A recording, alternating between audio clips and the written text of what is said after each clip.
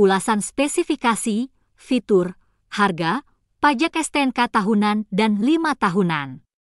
Selengkapnya setelah intro yang berikut ini.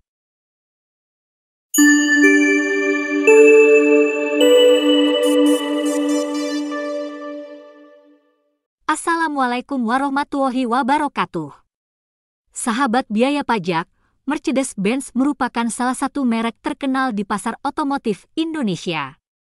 Pada kali ini kami akan memberikan sedikit informasi terkait mobil SUV besutan Mercedes-Benz, yaitu Mercedes-Benz Maybach GLS 600. Mobil berjenis SUV ini memiliki panjang 5.205 mm, lebar 2.157 mm, dan tinggi 1.838 mm. Mobil yang dengan ukuran bongsor ini memiliki radius putar 12,52 meter.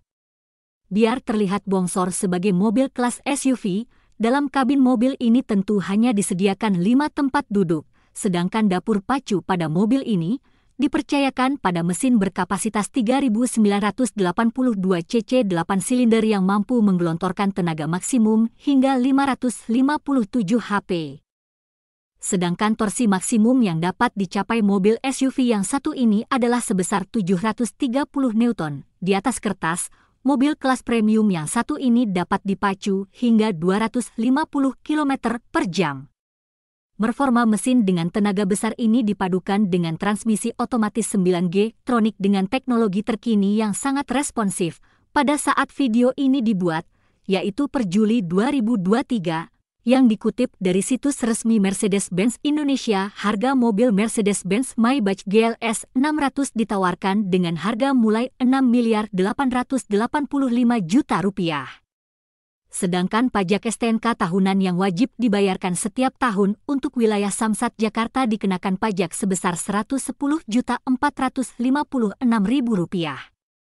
Kemudian untuk wilayah luar Jakarta, misal untuk wilayah Jawa Timur pajak STNK tahunan mobil SUV ini sebesar Rp82.877.750.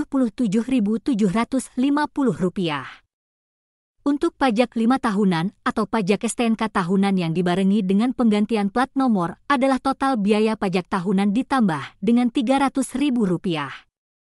Itulah informasi yang dapat kami sampaikan, semoga dapat diambil manfaatnya. Terima kasih telah menonton video ini hingga akhir. Wassalamualaikum.